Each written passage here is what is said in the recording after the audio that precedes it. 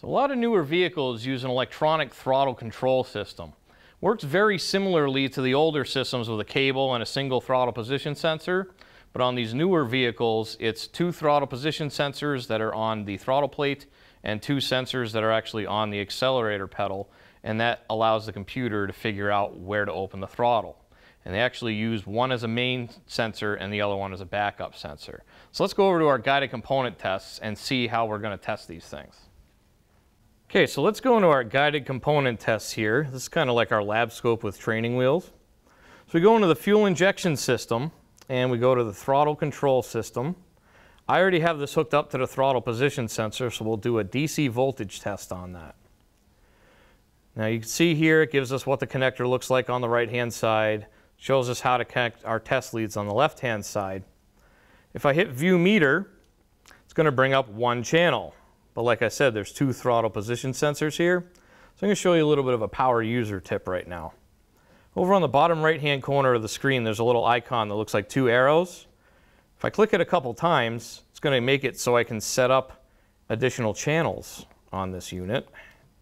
So we'll do 10 volts there, 10 volts there. Set it up a little differently. Then if I click it again, you can see now I have two lines on the same screen. Now that I have this all set up, I'm going to go into the car, actuate the throttle a few times, and see what we can get for a pattern.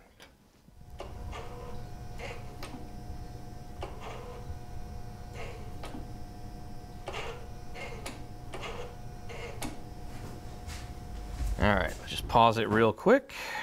I'm gonna zoom out, check my pattern. That looks like a good one there. Zoom in.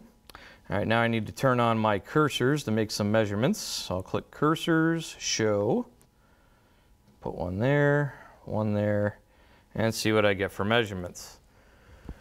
So we're gonna look up here and see what the specs tell us it's supposed to be. So key on, engine off with throttle fully closed on sensor one should be about half a volt to 1.2 volts. We're getting 0.81 volts fully closed, so that's good. Full open should be about 3.2 to 4.9. I'm getting 4.07, so that's pretty good. And we'll go over here. And signal 2.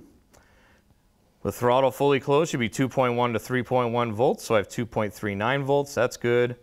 Full open should be 4.5 to 5 volts. We're seeing an even 5 volts there. So both of these throttle position sensors are good. Now when you're sweeping them back and forth, you want to make sure you don't see any weird dropouts to ground or any sort of weird noise or fuzziness, just like an older style throttle position sensor. It's just a little potentiometer.